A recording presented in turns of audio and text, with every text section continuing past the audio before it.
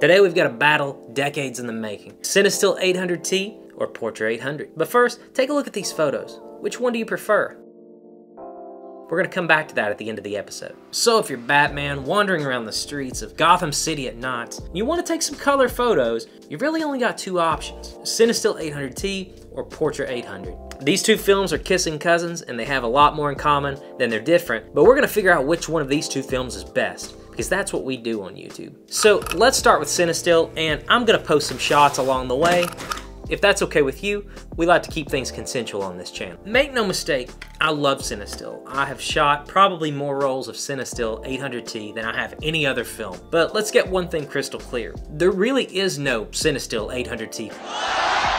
I mean, there obviously is the company Cinestill, Still, and they obviously put film in boxes but they don't actually make the film that they're boxing up and putting in their packaging. It's Kodak. So what we really have in this video is two different Kodak film stocks. What is Cinestill 800T? Well, it's actually Kodak Vision 3 500T movie film, but I'm only about the 6,000th YouTuber to point that out, I'm pretty sure. But that may not be completely fair to Cinestill. They actually do run it through a process to remove the remjet coating on the back of the film, so you don't have to develop it in ECN2 chemicals like normal cine film. Remjet backing allows you to use normal C41 color film developing process to develop Cinestill 800T. So that's pretty cool. And kudos to Cinestill for processing this motion picture film and allowing us to shoot it. Anyway, as we continue, it's worth noting that it's the removal of this remjet layer that produces what are called halations. And I'm gonna show you some pictures as we go throughout of what those look like. If you look at the light points in these images, you kind of see this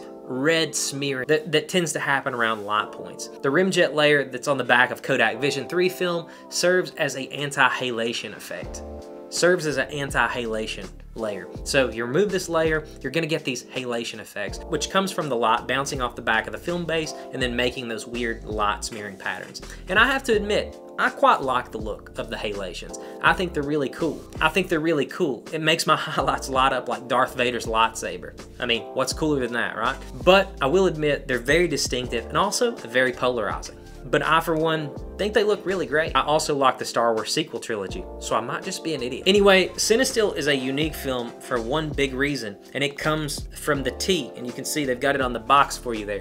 The T stands for tungsten. This is a tungsten balanced film rather than a daylight balanced film. Now I have no idea what exactly tungsten is, but I do know that Cinestill 800T is shifted a lot farther towards the blue end of the spectrum versus Portra 800. So that is definitely something that you're gonna wanna know, and it's gonna factor heavily into this video. And I don't mean shifted cooler like James Bond cooler, I mean color temperature cooler. And if you're wondering why you would want tungsten balanced film, it's because a lot of times you find yourself shooting under tungsten light, like under street lights, or in your grandma's foyer, or in Eastern Kentucky, per fourier. Anyway, this film is formulated to be shot under the warm orange glow of tungsten lighting. Since we know that Cinestill 800T actually comes from Kodak and it's Kodak Vision 3 500T, I took a look at Kodak's datasheet. Kodak's datasheet for Vision 3 500T says that the, the film is supposed to be white balanced for 3200 Kelvin lighting, which in my experience is way different than Portra 800, which is balanced for daylight or about 5,000 Kelvin. A lot of the really awesome film aesthetic that you get from Cinestill 800T is due to this cooler color shift. And I have to say, it really makes night photography look really great when you're shooting it on Cinestill 800T.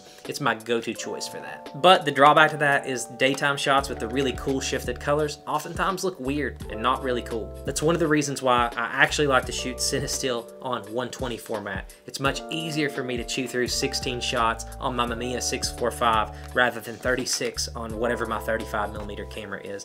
A lot of times I'll go out shoot 10 or 15 shots and then I'll be stuck with the other half of the roll um, still to shoot and no occasion to use it. So it's worth noting that Cinestill 800T is really the only tungsten balanced film left. There was a world where there were tons of tungsten balanced films out there for photographers to shoot, but if you want that really cool nighttime aesthetic, this is really your only option. It's hard to believe that Cinestill 800T has been in our lives for nearly a decade now. It's become a favorite of many film photographers who have fallen in love with that Blade Runner 1980s vibe that you get when you take this stuff out and shoot it at nighttime. It's definitely got a look to it, and you're either gonna love it or hate it. So that's enough about Cinestill. It's time to talk about Kodak's other night boy, and that's Kodak Portra 800.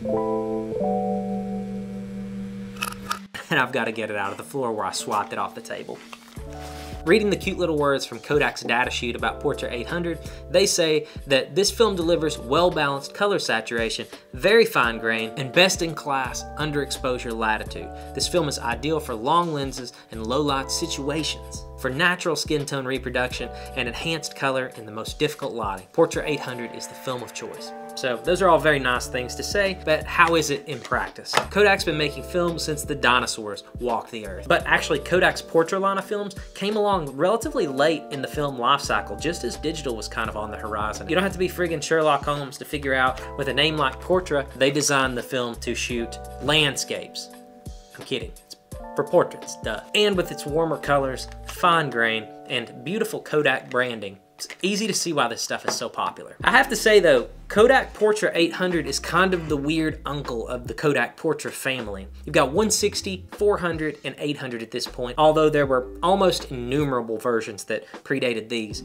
And Kodak Portra 800 colors very differently as compared to 160 and 400. And to me, it's what they do with the greens. There's this very decided shift of the greens toward the blue end of the spectrum that exists in 160 and 400, and with 800, it is very much green.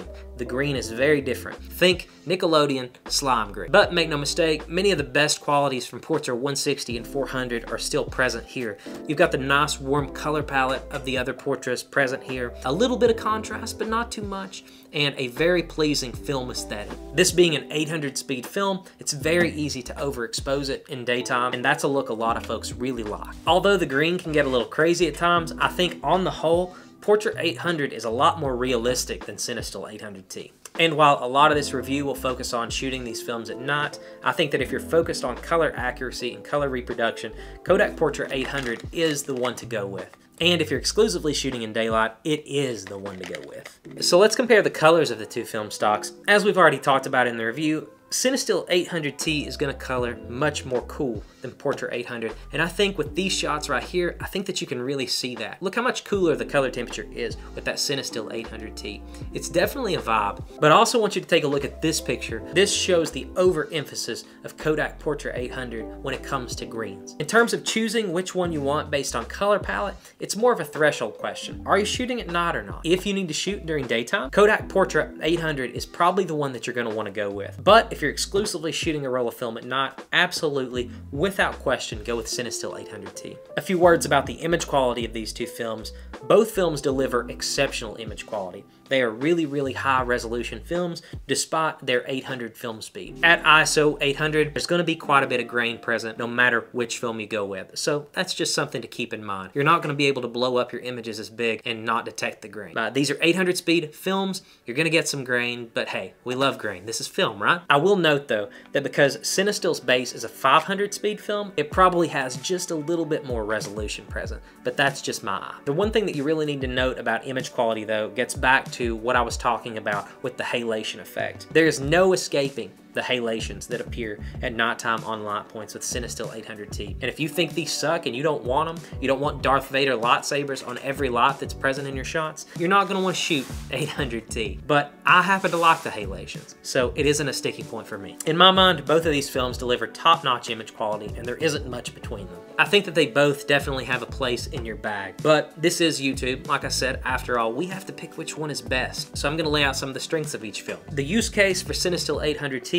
is almost anything that you're gonna be doing at night. If you're going to be shooting night photography, this film, to my eye, delivers a vastly superior image. Cinestill 800T delivers a vastly superior image. It isn't even really close. Portra 800, if you need your film to be a little bit more flexible, if you wanna put a roll of 36 in your camera and kind of be ready for anything, Portra 800 is the one to go with. But like I said, this is YouTube. We have to pick which one is best. And, and, the only way to tell you which one I think is best is to tell you that I think I've shot more rolls of this. I think I've shot more rolls of this than any film stock that I own. So that should tell you something right there about this film. My photography and my style of photography, often finds me out shooting at night. I really, really, really love night photography. So I find myself reaching for Cinestill 800T all the time. So for no reason other than the fact that I enjoy night photography, in my mind, Cinestill 800T is the best. So let's check out those photos again from the beginning of the video. So here are those pictures again, and I'm gonna put on the bottom which film is which now. Let me know in the comments which image you liked best. Maybe Portra 800 is a little more realistic, but what's the fun in that? Cinestill makes your images look like they came right out of a 1980s movie. And you know what? I was born in the 80s, and I'm good with that. And you know what else I'm good with?